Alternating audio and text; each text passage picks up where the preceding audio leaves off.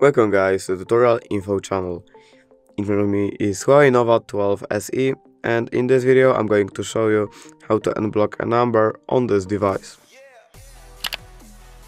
Alright, so first to do this we have to open our contacts and now right here we have to find a co contact that we have blocked.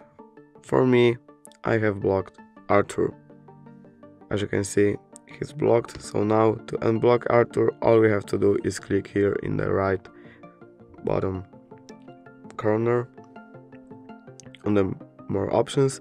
And now right here we have to click on the remove from blacklist. And now this number is unblocked and basically that's it. If you did enjoy this video leave a like and subscribe. Thank you guys for watching. Bye